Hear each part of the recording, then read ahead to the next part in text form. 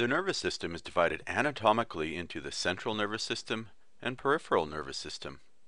Within the CNS are the cerebrum, cerebellum, and spinal cord. Nerve axons, dendrites, and cell bodies that lie outside the CNS are the peripheral nervous system. More than 50 billion impulse conducting neurons are estimated to be in the CNS. These neurons are supported by non impulse conducting glial cells.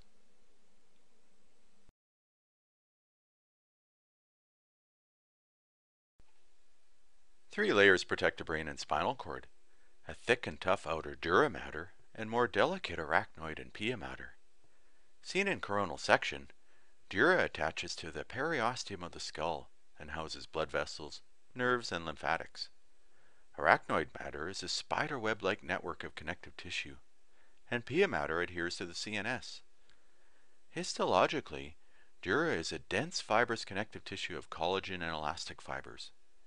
Arachnoid is several layers of fibroblasts and collagen, and pia is a thin layer of flattened cells. Cerebrospinal fluid circulates in the subarachnoid space.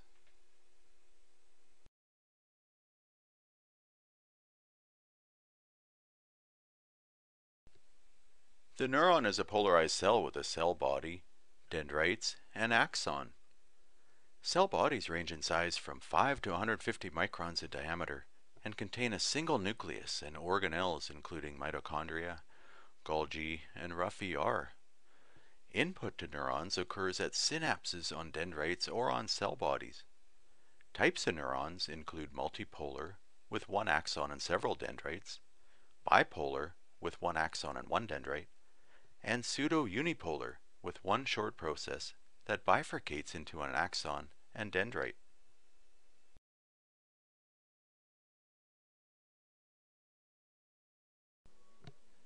The cell body or soma of a neuron contains a large spherical euchromatic nucleus surrounded by cytoplasm or perikaryon.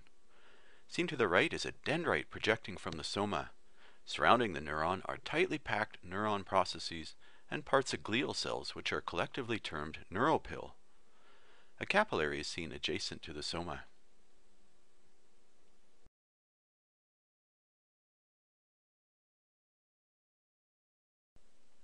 At higher magnification, the soma contains a wide variety of organelles including multi-layered, rough, and smooth ER, mitochondria, multiple Golgi complexes, and lysosomes.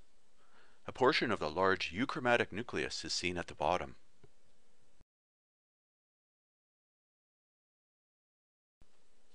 Most synapses in humans involve chemical neurotransmitters, which are released from presynaptic terminals of one axon or dendrite into a synaptic cleft to affect receptors on the postsynaptic membrane of the target cell. Seen by TEM, vesicles fill the presynaptic terminal, and the postsynaptic membrane typically contains a thickened density.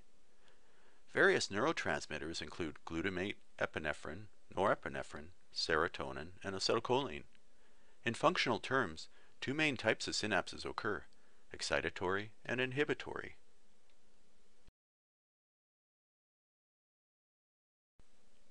Glial cells outnumber neurons by at least 10 to 1 and make up more than 50% of the total volume of the brain and spinal cord. The four types of cells bear descriptive names astrocytes, oligodendrocytes, ependymal cells, and microglial cells.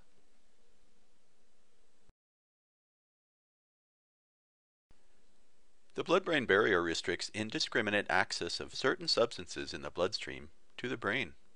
It consists of capillary endothelial cells sealed by tight junctions and an overlying basement membrane. Endothelial cells have pinocytotic vesicles which participate in unidirectional transport of protein and fluids from blood to brain. Capillaries are covered by astrocyte end feet. They cover 85% of the surface of the basement membrane. Encephalitis is most commonly caused by viral infections that cross the blood-brain barrier.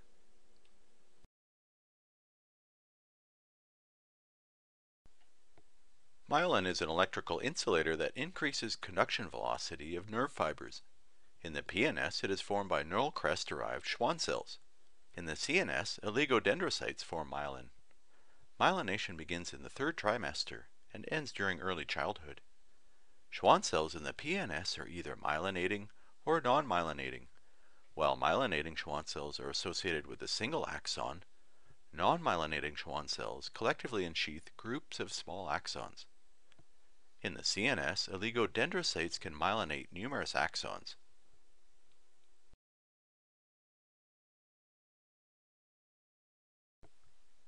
Seen schematically, the plasma membrane of an oligodendrocyte tightly wraps around axons and forms the myelin sheath. Nodes of Ranvier occur in intervals between adjacent oligodendrocytes and facilitate saltatory conduction. Multiple sclerosis is a hereditary disorder that targets oligodendrocytes and involves a loss of myelin on axons in the CNS. Ependyma is a simple cuboidal to columnar epithelium that lines ventricles and central canal of spinal cord. This layer of cells is in contact with CSF, which fills the ventricles and cushions the brain. The cells bear apical microvilli and cilia that project into the ventricular lumen. The choroid plexus produces CSF and consists of folds of vascularized pia mater covered by modified ependymal cells specialized for secretion and ion transport.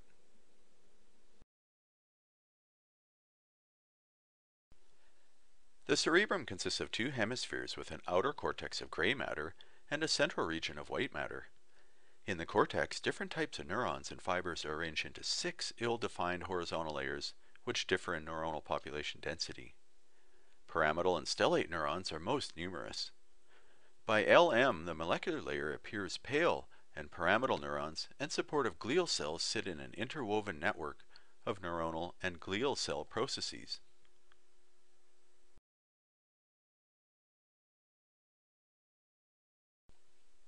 The cerebellum is a bilaterally symmetric part of the brain with thin folds known as folia.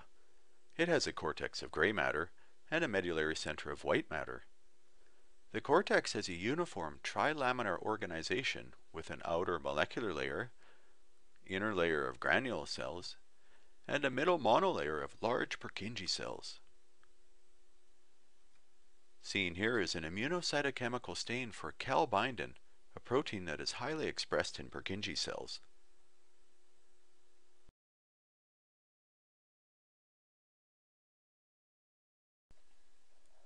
White matter of the spinal cord, unlike that in other CNS areas, is peripherally located.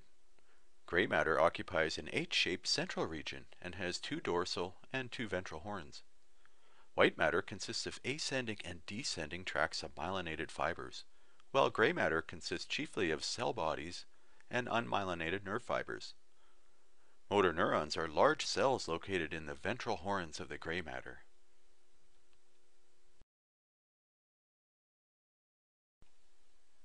A peripheral nerve consists of one or more bundles or fascicles of nerve fibers. In peripheral nerves with more than one fascicle, an outer layer of dense connective tissue, the epineurium, binds fascicles together. Surrounding each fascicle is the perineurium, which has multiple layers of flattened cells with intervening connective tissue. Endoneurium is a loose connective tissue that surrounds and supports individual nerve fibers and their support cells.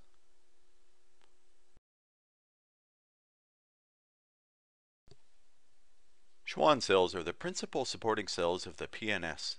They surround all nerve fibers, both unmyelinated and myelinated. Unmyelinated nerve fibers are typically grouped and held together by Schwann cells, whereas fast-conducting myelinated nerve fibers have single Schwann cells dedicated to segments along their length. By SEM, the components of a myelinated peripheral nerve fiber consist of the axoplasm in blue, surrounded by a myelin sheath of a Schwann cell. Collagen fibrils of the endoneurium and flattened perineurial cells are seen in the adjacent tissue.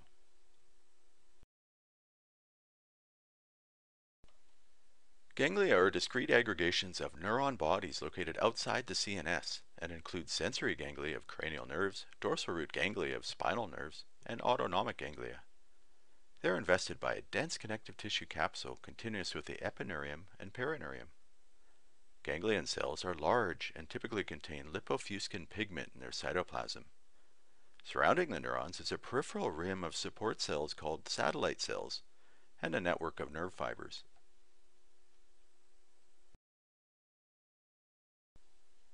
This concludes the overview of Chapter 5, Nervous Tissue. Thank you for watching.